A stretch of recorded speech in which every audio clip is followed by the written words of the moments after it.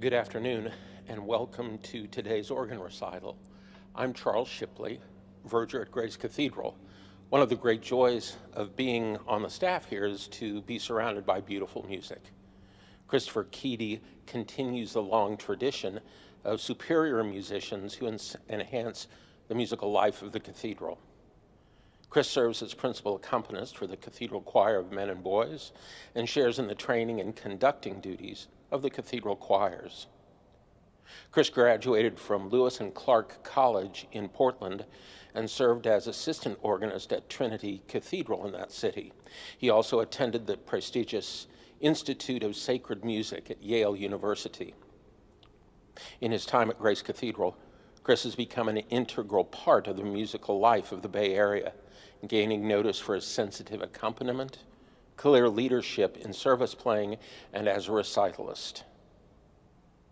We hope you enjoy this recital by Chris Keady.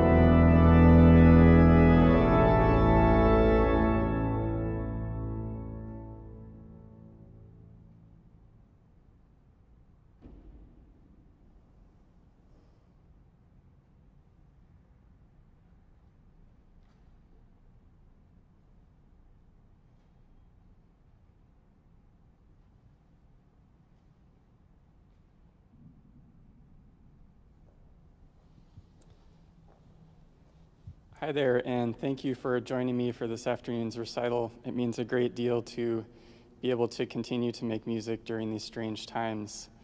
Um, I hope you will avail yourself of the program notes that I wrote. I'm a much better writer than a speaker, um, but I, I, think you can find those linked underneath the videos. Um, and that was Bach's Prelude and Fugue in A major, just a wonderful, joyful piece.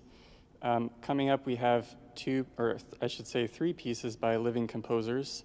Um, so this is an entirely 20th, 21st century program other than the Bach. Um, one of them is a composition new to me by the um, interesting um, composer who I did not know before encountering this piece, Mary Beth Bennett of Richmond, Virginia. So I'm excited to share this with you. It's a piece that is based on a favorite of mine um, by the composer Jean Langlais from France. Um, and following that is a kind of mysterious, intriguing piece titled Evening Song by the wonderful David Hurd, who is director of music at uh, the Church of St. Mary the Virgin in New York City. Um, finally, a wonderful monumental set of pieces by the English composer Francis Pott, who I've become a great admirer of over the past few years. Um, so I hope you enjoy these pieces, and thank you again for listening.